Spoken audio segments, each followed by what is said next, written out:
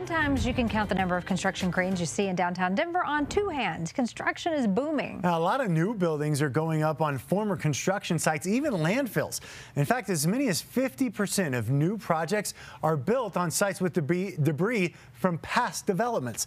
Photojournalist Mark Nitro spent an afternoon with a geotechnical engineer who makes sure that the ground is safe before new construction starts.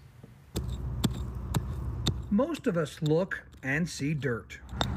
Not Benny Lujan. He sees the foundation of our city. Do You find all kinds of contaminants, landfill, waste, environmentally hazardous materials, such as this battery. Lujan graduated from the Colorado School of Mines.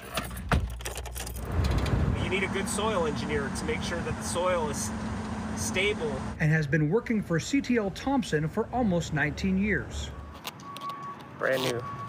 Arriving at a construction site, he determines what needs to be done to the soil. There's a 25 foot deep landfill underneath this building. We inject grout under pressure and basically make these ice cream cone shapes.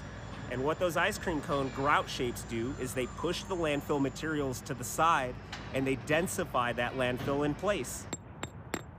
He then brings us to another site that needed a lot of help. This is a landfill and this direction has been improved and this direction has not.